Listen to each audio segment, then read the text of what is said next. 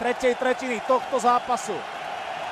Nestrašilovi odskočil puk, hneď to využíva Buc, ktorý ho zdržal a vytlačil Poláška za bránku. Poláškovi puk utekal, ale nedostal sa do moci Davida Buca. Pozor si musíme dať na časa, ktorý vyrovnal, ktorý vyrovnal 10 sekúnd pred koncom tretej tretiny.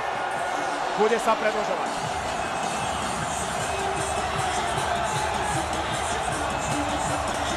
Martin Nečas ukázal svoj obrovský talent a tento emotívny zápas, ktorý mohol pred chvíľkou Cingel rozhodnúť, už doputuje do